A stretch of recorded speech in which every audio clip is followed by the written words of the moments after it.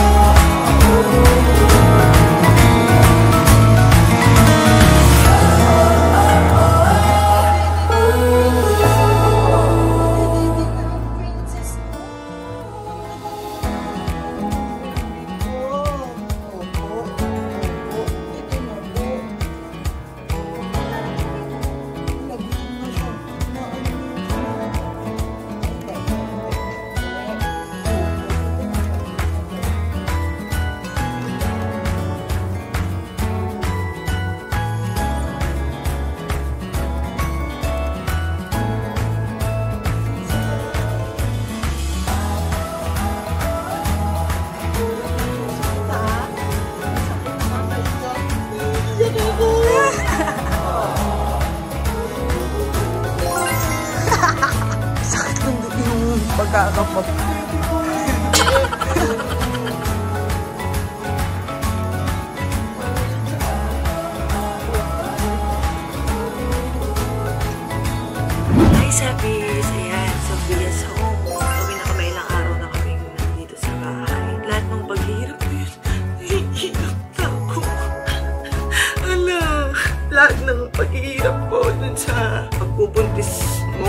ko hanggang sa delivery ko. Lahat yun, worth it. Nung nakita ko si Mia, na hanggang ngayon pag nakikita ko yung picture ng anak ko or kaya kasa't hawak ko siya or tabi ko siya, hindi ko talaga mapigilan, hindi maiyak sa sobrang saya. Nagwita ko na hanggang ngayon umiiyak ako kasi iyak nga ako ng iyak. Siguro, dala na lang din to ng sabi nila, di ba, pagkapanganak talagang iyakin ka or ano, ka tinatawag. So, ayun, na-stress ako pero gusto magpasalamat muna muna sa Diyos. Kasi kahit na nahirapan ako, binigyan niya ako ng isang healthy bata. Yan yun naman yung pinaka-importante doon. Magandang buhay, magandang pamilya. Wala na ako masasabi or mahihiling pa. Sa service, ayan, sa mga nag-pray para sa akin, sa kapatid ko na hindi ako sinukuan alagaan, kay Alnet, sa Team Sebi, kay Daddy DJ, na nandiyan hanggang sa nang anak ako, hindi ako iniwan, di binitawan yung kamay ko. Napanood niya naman na siguro yung vlog niya. And, ayun, kay Bia, kasi siya yung nagpapasaya sa akin ng sobra-sobra ngayon. After lahat ng dinanas ko,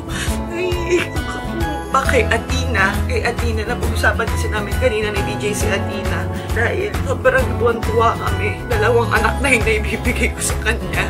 Naging topic namin. Tapos sabi ko, hindi dahil kay Atina, hindi ko naman sinasabing kinailangan niya pang mamatay para maging okay kami. Hindi ganun. Kung hindi dahil sa kanya, hindi magtatagpo uli yung landas namin ni DJ. Hindi magkakaroon ng iya.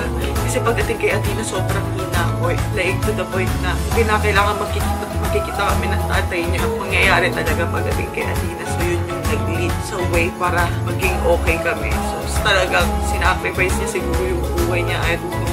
Ayun, naging successful at alam ko magiging masaya siya. Kaya maraming maraming salamat sa iyo, anak. Wala na akong masabi kasi sobrang saya na ng puso ko. So, ayun guys, ah, hindi ko man masabi na makakagawa pa ako ng mga videos. Ito kasi kailangan ko magpagaling dahil hirap nga, ang hirap kahit maglalakad ko, hindi ko kaya. Tumawang hati ko kaya kasi ang sakit nun kahigo. Alam naman siguro ng mga CS mom yan. So, mahirap talaga siya. Nilalaban ko. Lalaban ako. Kasi meron ako happy pill na. So, ano lang, nakakapanibago lang dito sa bahay. Mag-CR lang ako or kaya matutulog ako, nalulungkot ako. Kasi kailangan nakikita ko siya lagi. Ang hirap. Bakit ganito? Hmm, bakit kasi ako umiiyak? Alam nyo ngayon umiiyak ako sa video. Kasi gusto ko good vibes lang tayo lagi. Pero yun nga, siguro, intindihin nyo na lang kung nag-iyak ako. Sobrang punong-puno ng pagmamahal And sana healthy kayo lahat. May ipag-pray ko pa rin yung Sepis. Kasama kayo sa prayers ko sa lahat ng supporters namin. Kasama kayo sa prayers ko na, na sana lagi kayong ingatan ni Lord, gabayan ni Lord para lahat tayo is maging okay. Yun naman yung pinaka-importante. Stay happy. So dito ko na tatapusin to. Gusto ko lang ulit yung magpasalamat sa inyong lahat. And ayun, abangan nyo na lang yung mga susunod na yung unang buhay ko, buhay Pia. For now, ano muna kami, rest muna kami ni Pia. Kailangan namin yung malakas para makapagpasaya pa rin naman. Hindi ko naman kakalimutan yung ko sa inyo. As uh, tinitignan nyo, as influencer nyo, as idol nyo. Ayun, sana natuwa kayo sa pag-share ko ng buhay ko. Sobrang saya ng puso. Again, sobrang saya ng puso ko.